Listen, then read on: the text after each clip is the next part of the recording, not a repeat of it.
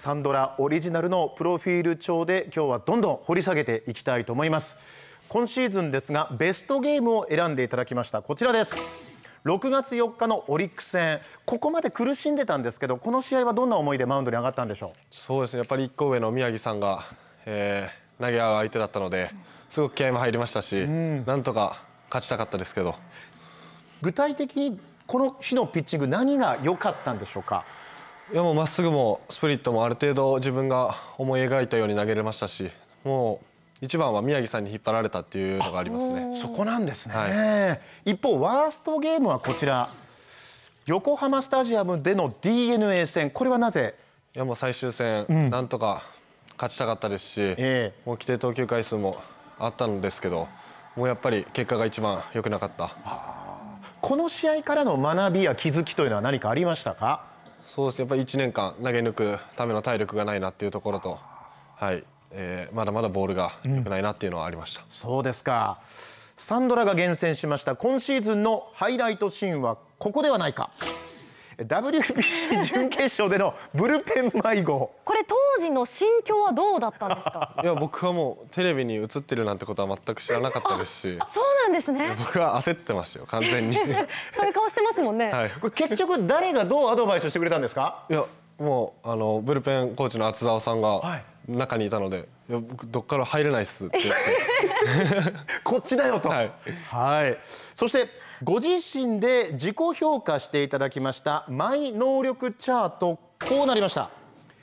頭脳4.5そしてキャプテンシーは1チーム貢献度3のコントロールに球速3という評価でした。自分でここは分析解説していただきましょう、はい、頭脳4.5この根拠は何だったんでしょうか？いやもうこれは完全に野球における試合中の考え方ですね僕は、これ良くなったということですか？今シーズン、はい、特に。去年は本当にがむしゃらに投げてるだけだったのが今年ははい、頭使いながら投げたなっていう印象があります。そうなんですね。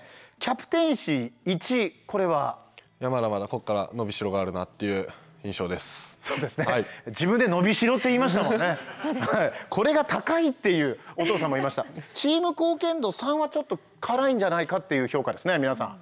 そうですね。もうやっぱり11敗してるのは。はい成績的にも良くないですしもっと勝ちに貢献したかったですね。そうですか。コントロールが2これは？はいファンの皆さんのお声の通りです。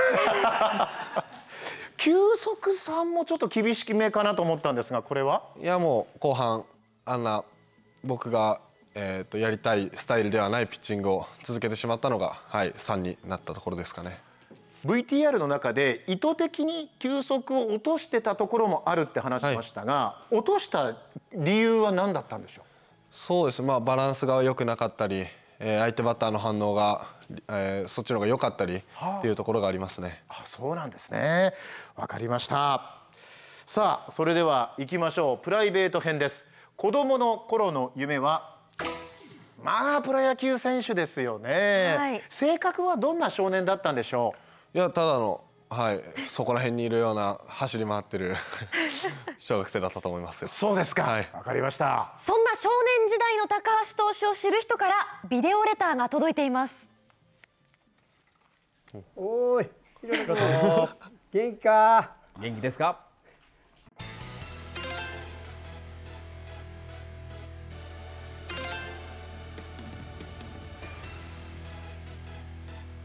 あのこの間周期練習見たけど階段登り大変そうだったな。まあ頑張って来年のために体鍛えてください。昔はひろと君ガキ大将のような人でしたね。それが今いろいろ野球を通じて構成しているような感じが。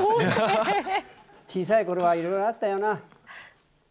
あのー、水穂球場で決勝戦で自分でホームラン打って同点まで行ったのに最後の回に投げるの嫌だって 絶対投げなかったよね。覚えとるか？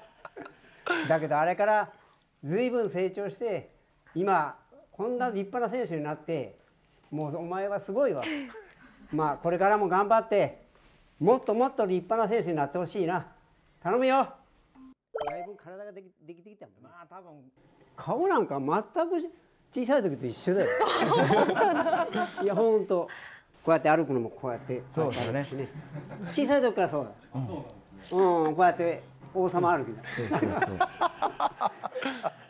王様歩きは変わらない。いや変わってないんですかね。え水補給場での決勝戦、はい。最終回投げたくないっつって投げなかったんですか？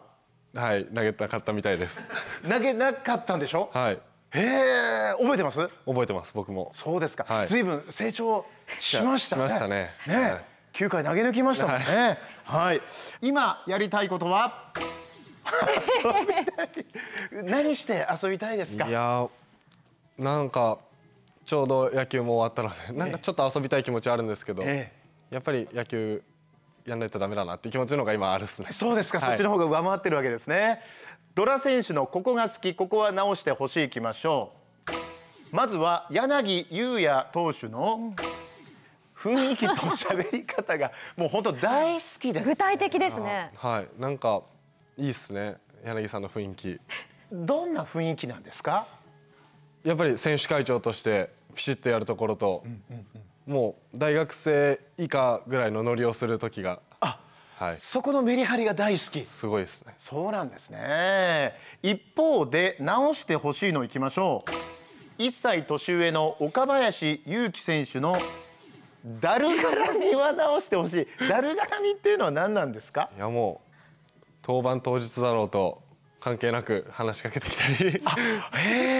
いや僕は面白いですけど。はい。はい、あなんかいきなりこうモノマネしたりとかそうです。ちょっと緊張感があるのに話しかけてきたりする、い。や逆にもうリラックスできるんでいいんですけど。そうですか。いや本当に仲のいいドラゴンズの選手の皆さんです。さあここからは先ほどトヨタシニアの皆さんからも質問ありましたが理想のタイプ。お、優しい人。はい。優しい人。まあありきたりな優しい人。はい。どうですか？今本当にいらっしゃらないということでよろしいですか、もちろん。本当にいないです。作ってほしい料理は石焼きビビンバ。これは？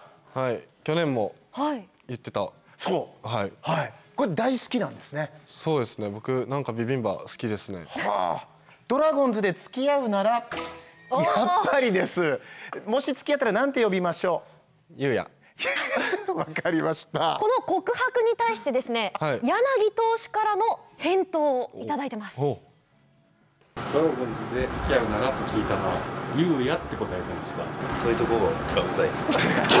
そういうところがとりあえずうざい付き合いたいって思ってくれるのは全然いいんですけど、まあ恋愛にも片思いってあるじゃないですか、まあ、それと一緒で僕は付き合いたくないし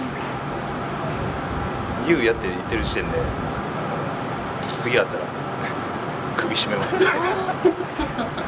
返答いかがでした？はい、えーまあ、僕もこうやって言ってるだけで柳さんが来た時には断ろうと思います。